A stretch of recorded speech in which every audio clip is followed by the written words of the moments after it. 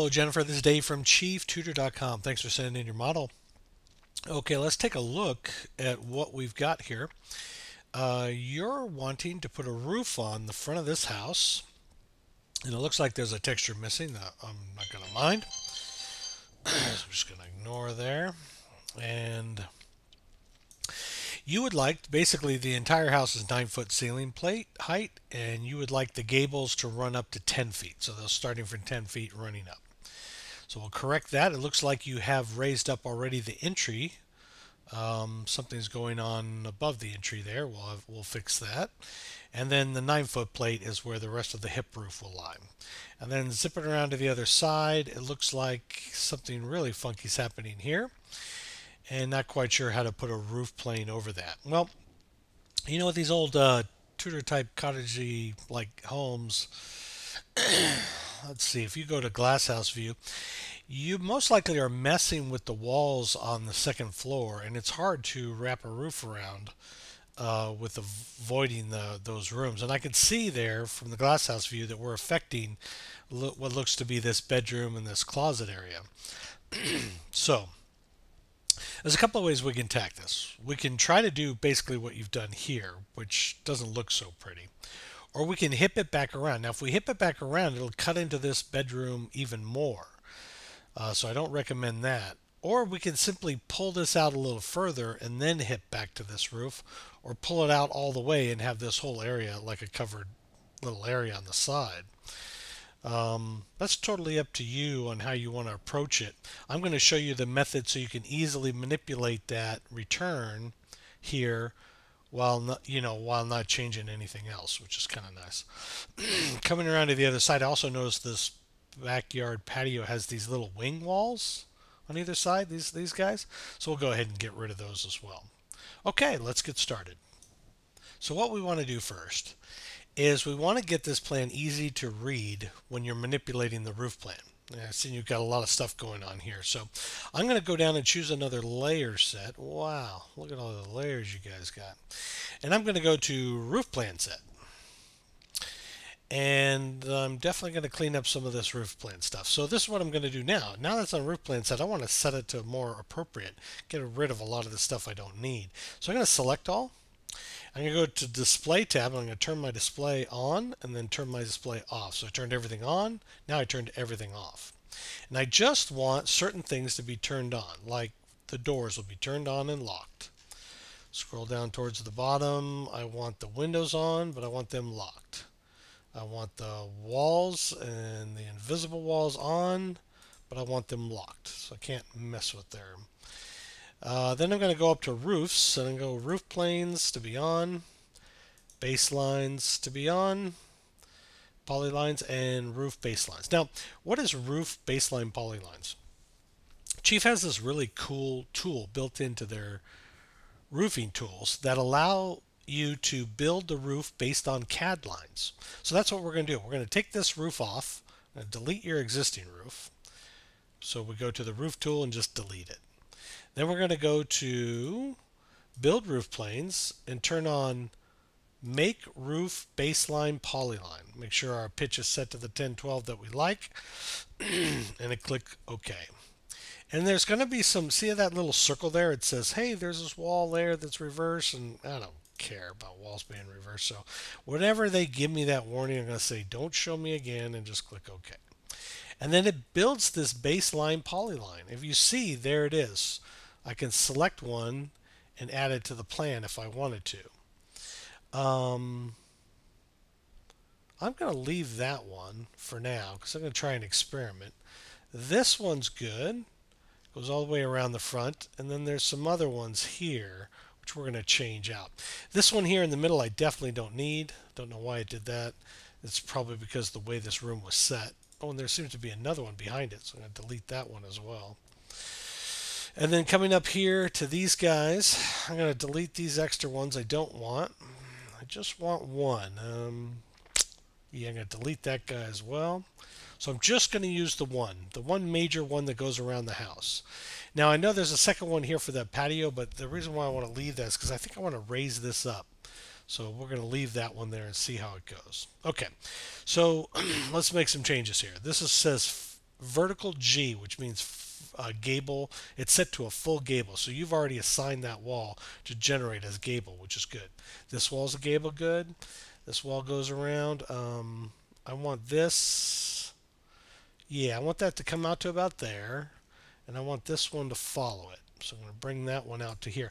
And I want to be careful to line this up so there's not a lot of dots. And if there are extra dots, I can push them over to the side and kind of get rid of them. Because I want one clean line that says vertical gable. Double click this and make sure it's a full gable. Click OK. And going around here, I know there's going to be a turn. we're going to turn here. And we're going to gable this one out. So I'm going to gable this one out. I'm going to gable this one out just a bit. And then vertical gable good. This one needs to read uh, 10, 12, regular pitch. So I'm going to set that back. This one as well needs to read that. So I double click this, uncheck that. I don't want full gable. So I want the 10, 12, which means hip. If it says 10, 12, it means it'll put a hip there. It'll put a hip here. It'll put the gable there, a hip there, gable there, hip, hip, hip, all the way good. Gable there, gable there, gable there. That's that funny wall that we were talking about. Let's go ahead and leave the full gable there. I'll even pull it out a little bit so we can see what's going on. And then we're going to double click this bad boy and it's going to say what it's building to, that 9 foot plate height. It puts it up to about 117 and an eighth. That might be a little high for 9 feet, but we'll just go with it. And then this back one, I'm going to double click it, and this one's up even higher, 130. That, that makes more sense because I think you made the ceiling height in here much higher. So that's why I wanted to keep that last one. And then let's go ahead now and let's build a roof. So we're going to build a roof plane and we'll turn on this automatic build roofs. So as we make any changes, it can modify with us. And there it goes. Now let's take a quick look at what we've built.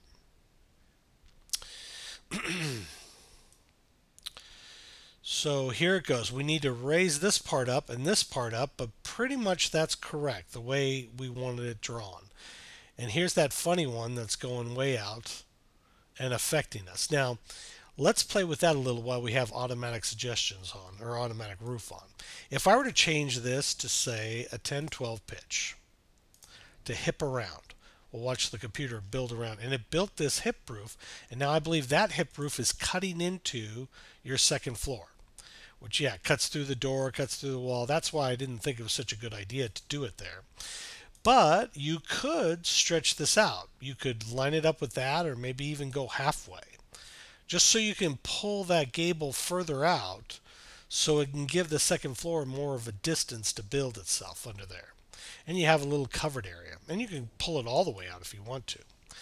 Sometimes Chief does this because it remembers the old attic walls you had, so simply delete any walls uh, that are generating falsely there.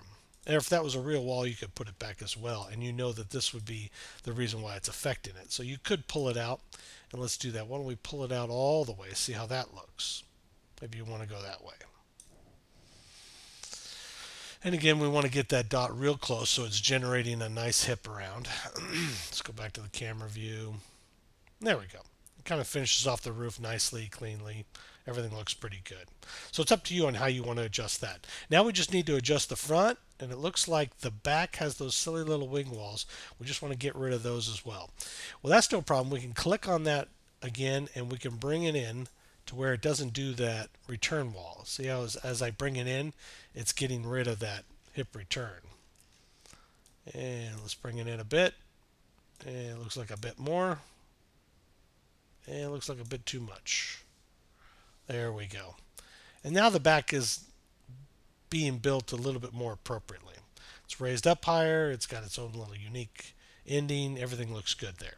So now let's just fix the front. So we'll have to take off automatic roof returns to fix the front. But that's okay. We're going to do that. So I'm going to select this roof, this roof, shift select this roof, this roof, and I'm holding down shift as I'm selecting these roofs. So I want all those roofs, one, two, three, four, five, and six roofs to go up a foot. So I'm going to go here and it says you're about to, you have to turn off automatic build roofs. You want to manipulate. So yeah, I want to turn it off.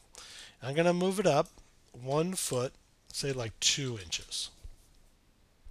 And just give it a little jump up. And then we want to use the magic tool on the keyboard called number two. The number two on the keyboard is the conjoin tool. So when I click on a roof, I have this conjoin tool over here. It's also a hotkey number two. So what I do is I select the edge I want to manipulate, hit number two, and select the other edge I want to hit. And start tying these roof planes together. Click here, click two, click there. Whoop, click the wrong roof. Got to be careful to get the right roof. Click uh, here. That's good. Zip up a bit. Okay. Up here, number two, up there. Select this edge, hit number two, select that edge.